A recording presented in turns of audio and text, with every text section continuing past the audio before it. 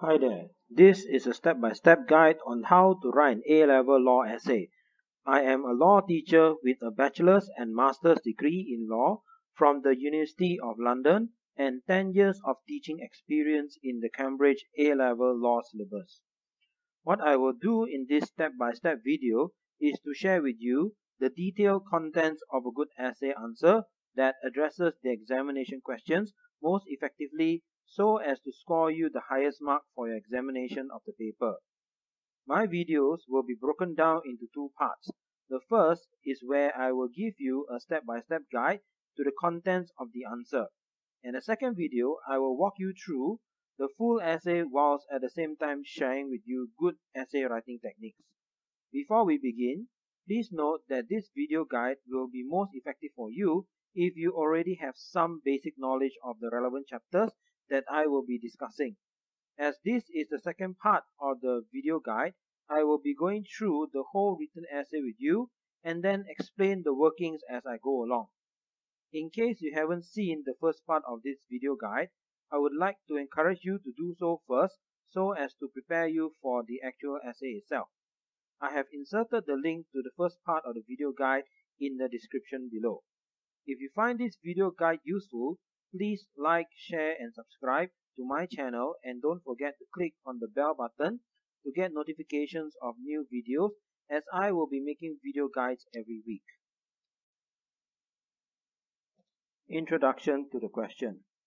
For a quick recap of what we have done in the first part of the video, let us review the question and structure of the contents again.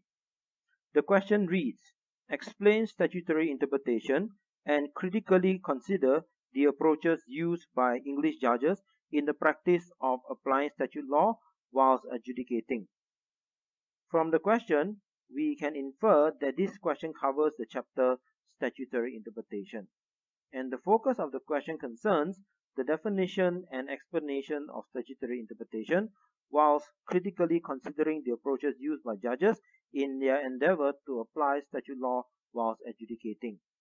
The essay should include an introduction, relevant points, and finally a good conclusion which addresses the question.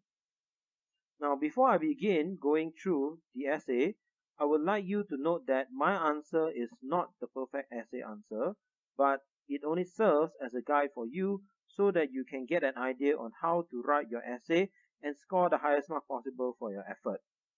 Incidentally, I may have also left out certain minor details from my content video as whatever points that have been discussed earlier only serves as a guide for us to reach our end product, which is the essay. Introduction Laws come from two distinct sources, written laws and unwritten laws. Written English laws come in the form of statute laws, whilst unwritten laws are known as common laws. Statutes are made by Parliament as Acts of Parliament these statutes are used by judges who seek to understand particular statute laws whilst applying them in a court trial. Due to some problems with statute laws, English judges have to practice statutory interpretation. To critically consider how judges interpret statutes, we will discuss the two main approaches to statutory interpretation in detail. So this is the brief introduction and a brief introduction is an ideal one. It is advisable that candidates spend only the first four to six lines of the answer sheet to write the introduction so that we do not accidentally reveal too much in the introduction itself. It is after all an introduction and we do not want to overload it with too much information and then leave the actual contents of the essay with nothing else to write. Therefore, a straightforward introduction briefly stating the starting point of the development of the essay is important to a good essay. Point 1, Part 1.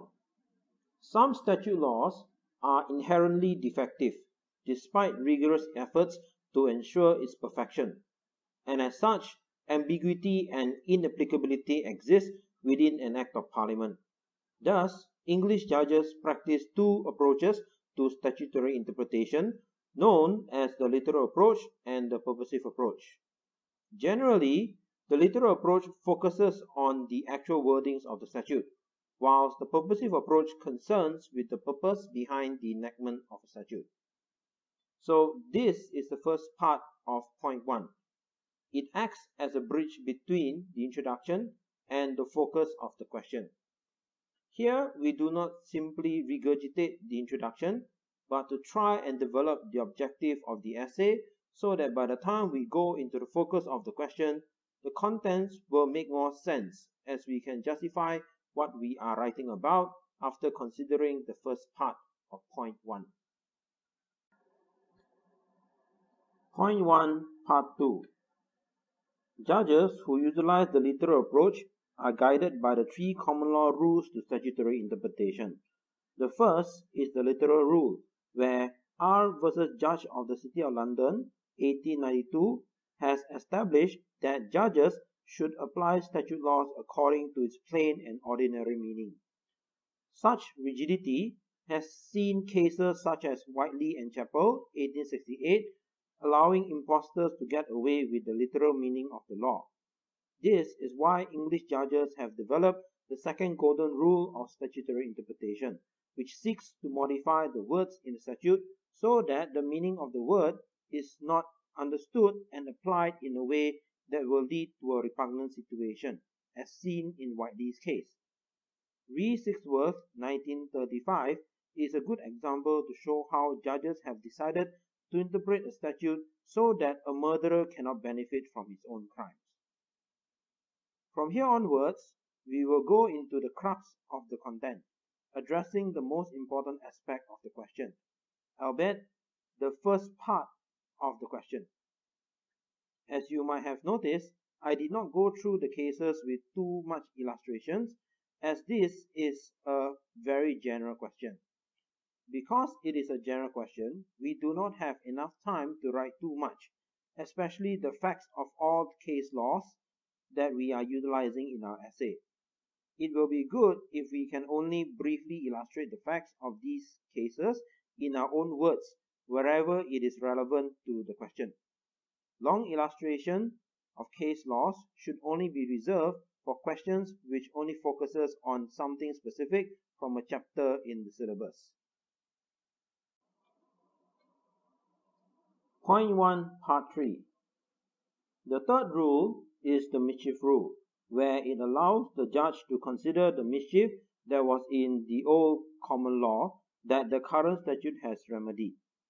This would mean that judges are taking the golden rule another step further and closer to the purposive approach as judges no longer seek to modify the meaning of words but to simply instill purpose in words within a statute. A good case to illustrate this is Smith v. Hugh, 1870, where it was decided that the law, though not explicit, aimed to rid the public place of common prostitute, whether they be in the street or indoors. I decided to separate the third rule of statutory interpretation in another paragraph as I feel that the previous paragraph has become too long. It is important to note that for a good essay, one content paragraph should not be too long as we might mash up too much details which may lead to digression. On the other hand, a paragraph which is too short might also risk the candidate leaving out a lot of important and relevant points, thereby causing the content of the essay as a whole to become very brief and lack critical analysis. For exam purposes, we only have exactly 30 minutes to write one full essay. Therefore, we should limit our main content paragraphs to an average of between 50 to 100 words. Point 2, Part 1. The purposive approach generally contradicts the literal approach as it is more concerned with the purpose of a particular statute than what the statute actually says about what the law is. Lord Denning in Magor v. St. Mellons District Council v. Newport Corporation 1951 described the practice as judges seeking to fill the gaps in the law so that we do not make a nonsense of it. However, this approach has been criticized by some parties saying that it is but a naked usurpation of the legislative function under the thin disguise of interpretation. This is because if there is a gap in the law, the remedy lies in an amending act, and that judges shouldn't try to overrule Parliament by questioning its intention. Despite these two arguments, judges have enlisted intrinsic and extrinsic aids to find the intention of Parliament. This is where we get to the second half of the essay, where we begin to address the purposive approach in earnest. Because the question asks us to consider the approaches available, we should then give equal attention to both approaches to statutory interpretation, where the detail of the content must be more or less of equal measure.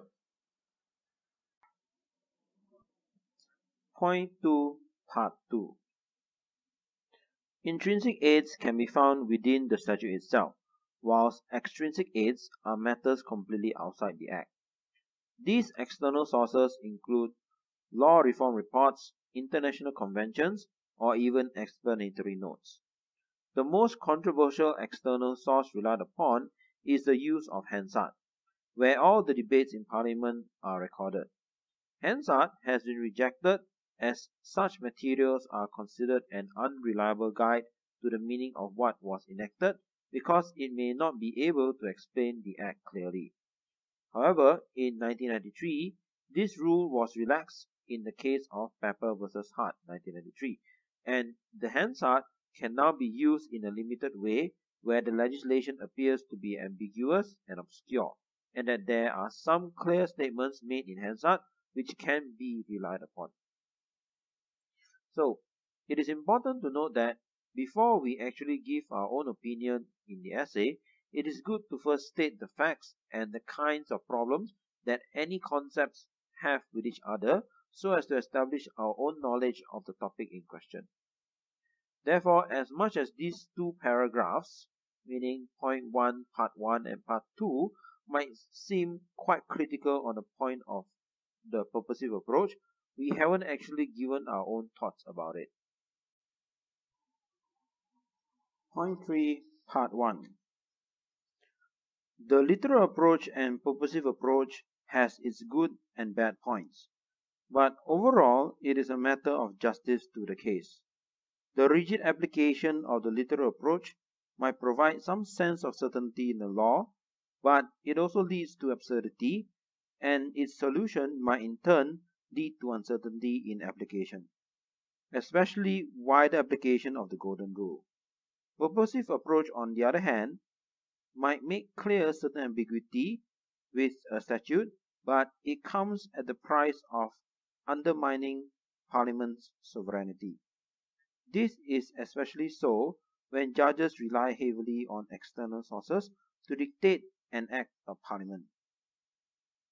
This is the part where we can go all out to comment and express our thoughts about the topic in question, giving mind to the focus of the question so that our views do not stray from the question, uh, from what the question is asking us to do.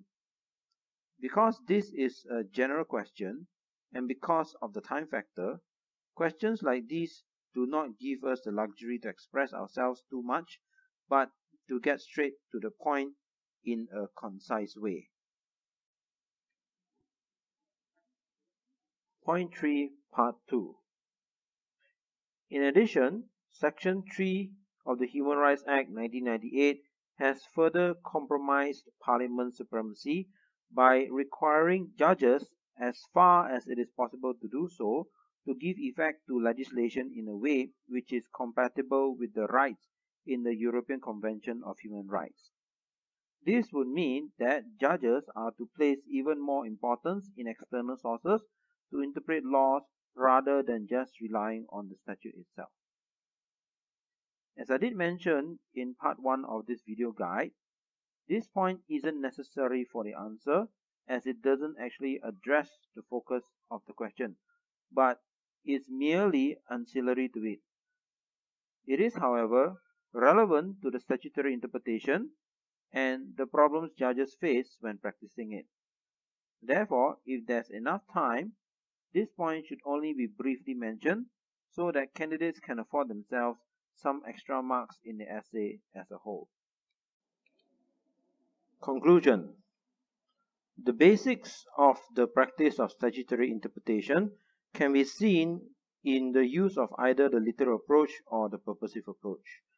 Both represent the only logical means to solve and do justice to individual cases. Either way, so long as justice is seen to be done, it matters little which approach is preferable.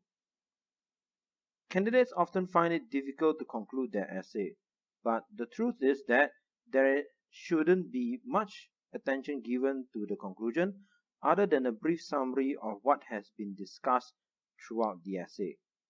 The conclusion acts merely as an affirmation to what has been discussed and no extra points that are not mentioned throughout the essay should be brought up at all. That is the end of the video guide. I hope it has helped you in your legal studies. Do check out part 1 of this video where I will go through with you the contents of the answer to the question. I have linked the video in the description below. If you have any questions, comments or any suggestions on what other topics you would like me to cover, please leave a comment on this video. And again, if you find this video guide useful, please like, share and subscribe to my channel as I will be uploading new video guides on different topics every week. In addition to that, if you would like me to send you a copy of the whole essay in Microsoft Word form, please subscribe to my channel and then drop me an email requesting the document. Thank you.